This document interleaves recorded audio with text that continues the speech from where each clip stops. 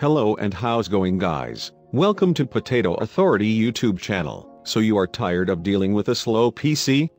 No problem, because today, in this video we are going to fix it. I will show you some easy steps, it will improve your performance, and remember, it is not that you will get a massive FPS boost, or performance boost, but you surely will get a noticeable change in your PC's performance. Before starting the video, I want to show you my specification. As you can see, I have Core i3 1.9 GHz processor, 4 GB DDR3 RAM and Intel HD Graphics 4400. So let's start the video.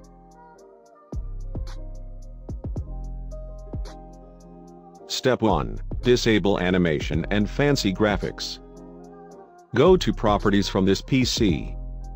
Click on Advanced System Setting, then go to Settings under Performance tab, and click Adjust for Best Performance. This will disable all window animations which will reduce the stress from your PC.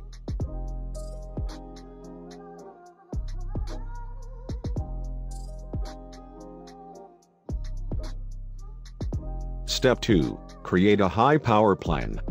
Changing your power plan to high performance will give you an instant performance boost. Go to Start menu and search for Power and Sleep option. Click on Additional Power Setting and create a high-performance power plan. If you are using a laptop, use this plan only when your charger is connected, if your charger is not connected then use power saver mode, or else your battery will drain really fast. Step 3. Disable startup programs. The programs that start automatically, just after your PC turns on, are called startup programs. To disable them, right-click on Taskbar and click on Task Manager. Then click on Startup and disable all the unnecessary programs. This will also help your PC to boot faster. Step 4. Cleaning cache files.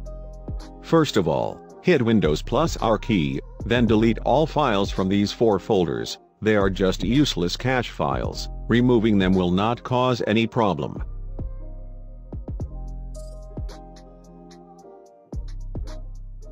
Finally, clear your recycle bin. Do this at least once a week, your PC will feel very light. The last step of this video, decreasing RAM usage. For this step, we will be using a free software, and maybe some of you know about it.